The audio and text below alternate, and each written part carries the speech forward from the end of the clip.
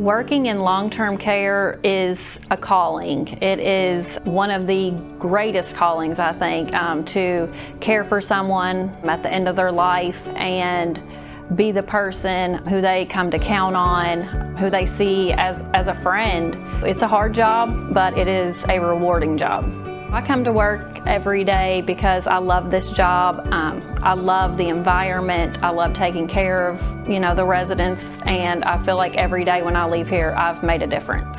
It's friendship and I would tell anybody that's going into long-term care it really is about the relationships that you develop with with the people that you care for. That's the whole goal here is this is their home and we're just here to make sure that they are treated how they need to be treated, took care of the way they need to be took care of, um, loved, and they are all loved here.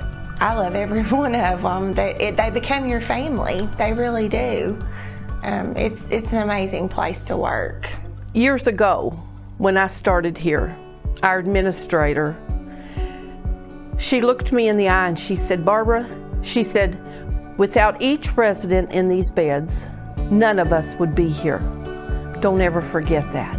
That's why I come to work every day is because of my residents. And I always tell new hires that long-term care, honestly, it's one. I think it's it's a hard job, um, whatever role you go into. But in my opinion, it is the most rewarding job in healthcare. I've had the opportunity to do other things. I come back to long-term care. You know, each of us have to be needed. It's good to be needed. It gives your life value, and you feel you have a purpose. And every day when I come here, I have a purpose. I'm making someone's day, life, uh, health better. I have an impact on making their lives better and making my life better.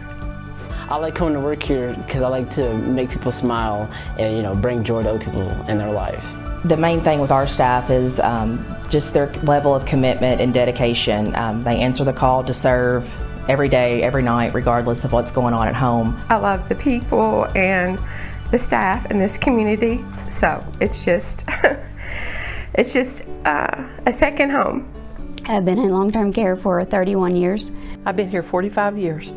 I've been in long-term care for 35 years. We are taking care of a life and God has given us a heart to do the best we can, what they deserve.